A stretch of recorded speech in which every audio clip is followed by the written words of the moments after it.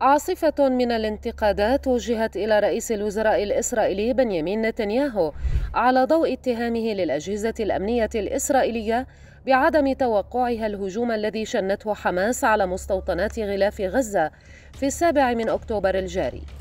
نتنياهو عبر عن هذا صراحة عبر حسابه الرسمي على موقع إكس إذ قال إن الأجهزة الأمنية لم تحذره من هذا الهجوم قبيل حدوثه.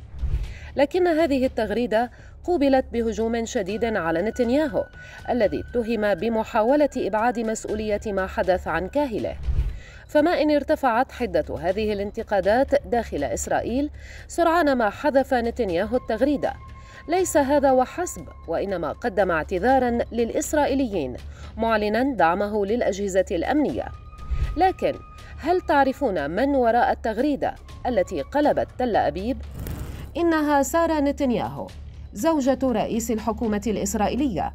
إذ قال الإعلام الإسرائيلي إنها ضغطت عليه لنشر التغريدة لاعتقادها أن زوجها لم يبعد التهمة عن نفسه بما يكفي.